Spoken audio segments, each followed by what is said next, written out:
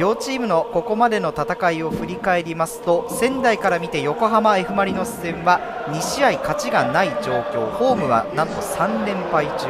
で過去ホーム8試合で見ても勝ちがないということで0勝3分け5敗という数字になっています。仙台の壁の中にも F・ マリノスの選手の姿があります。ゆっくりと助走を取った天野。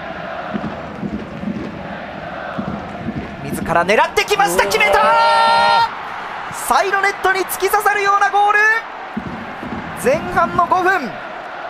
直接決めました天野潤。1対0先制点は横浜 F・ マリノスです。高い位置でもボールを奪えていますよね。そうですね石原。シンプルにワンタッチではたくがね。右サイドに流れていった小林。中に3人入っていく仙台ですが直接クラスバー。もう一度石原。ただ枠の上。惜しいシーンでした。仙台12分です。いやー今のね小林ね、はい。狙ったのかな？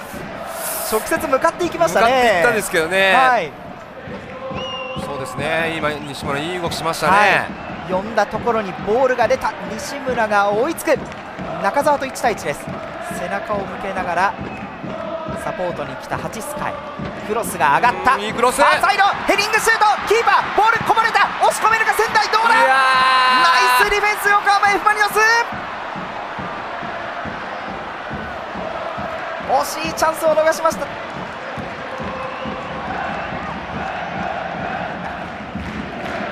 セットプレーです。蹴るのは三田。ゴールに向かうようなボール。中に来た。ニアレスラしたボール。押し込めるか？決まったか？どうだ？決まりましたね。決まりました。仙台同点に追いついた決めたのは大岩。1対1の同点。いい流れのうちに取り切りました、えーそうだね。もう本当にいい流れでしたね今ね、はい。ここまでね今の1本だけじゃなくてね素晴らしい流れの中でねもうあーもう少しだなっていうねところいっぱいありましたからね、何度も何度も惜しいシーンを作ってそして決めきりました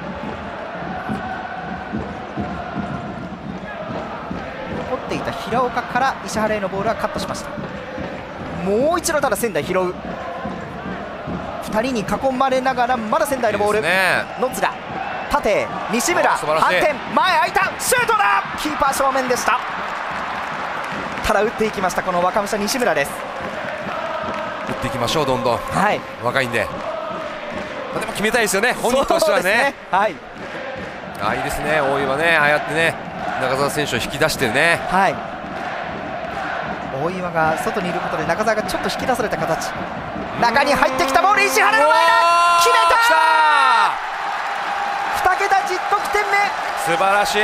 ホーム最終戦勝ち越しゴールは石原直樹です。ここからファーサイドで、平岡ですか？はい、落としていたのは平岡、うん。ここね石原もね、はい、あそこ落ち着いてトラップしましたよねゴール前でね、止めて止めてからの早かったですね、はいここからやはりこうベテランらしさというところは見せていますよね。落ち着いてますよねはい。ハチスカが上がってきます。手を上げる西村。いいところニアで待っていた野津田。デゲネクの足に当たっていました。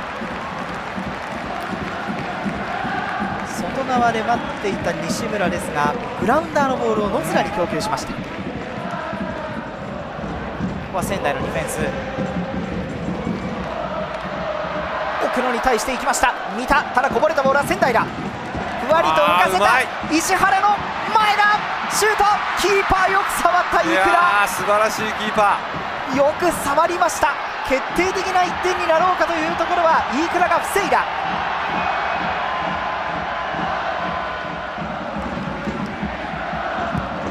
コーナーキック。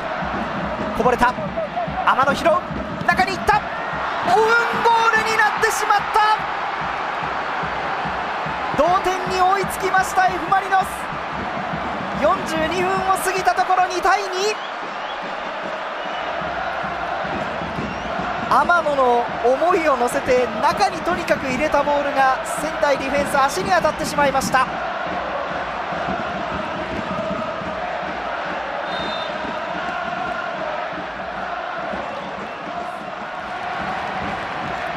デディショナルタイムは5分が目安となりました。ああまだありますよ。はい。石原中を見たクリスラン。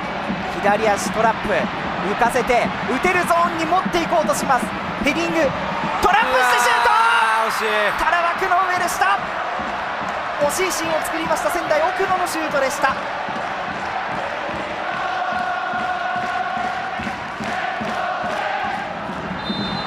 ここで試合終了の笛アディショナルタイムの攻防を出し尽くしたという感じで膝に手をつきそしてこうして座る選手もいます。ベガルタ仙台対横浜 F・ マリノスの一戦。最後は両者手を尽くしてという感じ。2対2引き分けに終わりました。